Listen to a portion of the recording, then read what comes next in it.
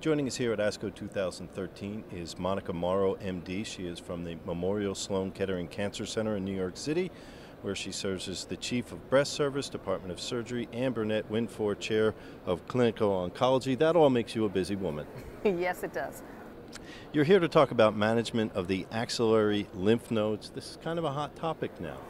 It is. We've entered the era of axillary confusion, I think. After 100 years of always dissecting the axilla, we realized that for women who had no involvement of their axillary lymph nodes, this did them no good. And sentinel node biopsy was developed as a staging technique, which has been widely accepted in clinical practice for node negative women.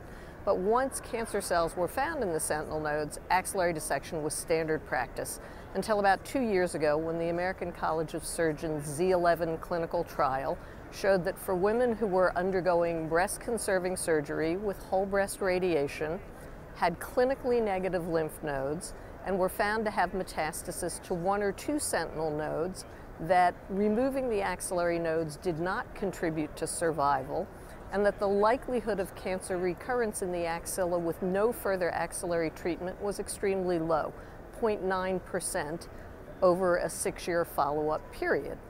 Now, that was very difficult for many people to accept, and one of the big criticisms of that study was oh, the women must have been a very highly selected, favorable population of breast cancer patients, and that these findings don't really apply to everyone.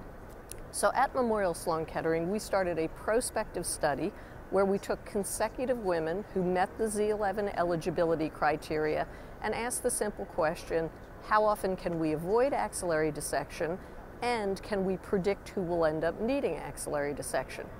And what we found in results that we presented at the Society of Surgical Oncology in 2013 was that in 296 consecutive patients, we avoided axillary dissection in 84%, a huge saving in morbidity, and that things that people were worried about, like young patient age, lack of the estrogen receptor, HER2 overexpression, were not predictors of having three or more involved axillary nodes and needing axillary dissection.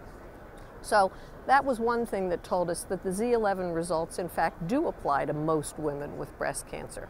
Here at ASCO this year, we heard the results of the AMAROS trial, which was a study that took the same population of women with T1 and T2 node negative tumors who were found to have metastasis to the sentinel node and randomized them to completion axillary dissection or radiation of the axilla. And that study showed no difference in survival outcomes between the groups, and again, an extremely low rate of recurrence in the women who had axillary radiation, about 1%. The interesting finding from that study was that the morbidity of axillary radiation was significantly lower than axillary dissection. Particularly, there was less lymphedema, which is a complication that women really fear.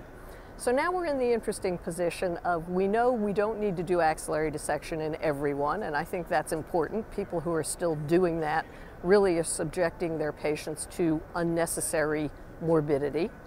The AMAROS study included women undergoing mastectomy, which the American College of Surgeons trial did not.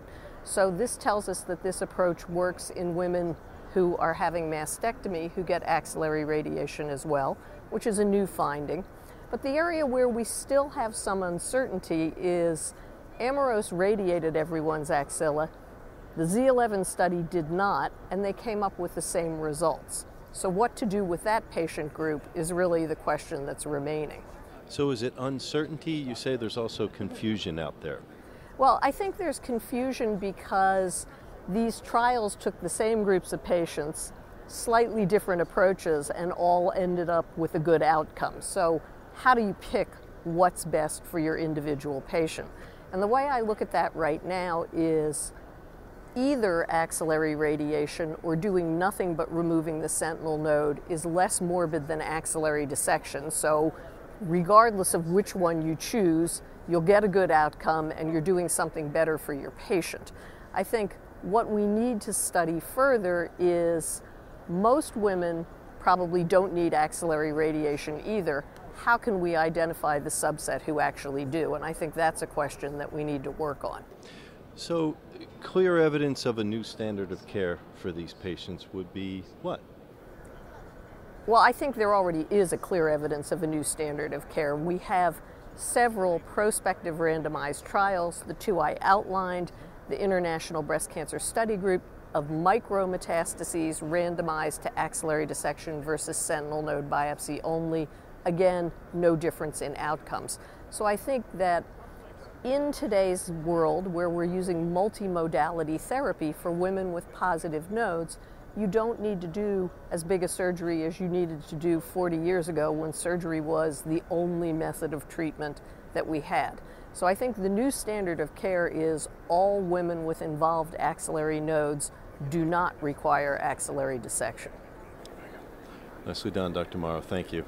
Thank you. Thanks for your time. Monica Morrow, MD from Memorial Sloan Kettering Cancer Center in New York City.